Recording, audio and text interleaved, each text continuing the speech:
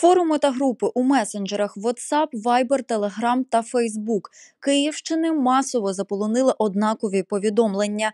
Про це повідомляє апарат РНБО України. Зокрема, у повідомленні йдеться, що автори дописів активно розпитують в різних варіаціях про те, як дістатись до Києва, хто може підвести з маленькою дитиною до Києва, та як дістатись з броварів до Борисполя.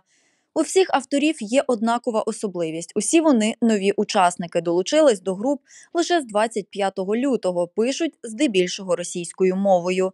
Тож українців закликають бути обачними, адже ті люди, які розпитують інформацію, це ворожі агенти.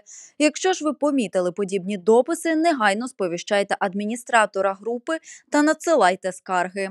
Окрім цього, відбуваються і фейкові дзвінки з номерів військових близьким та рідним з недостовірною інформацією щодо їх місця перебування та стану.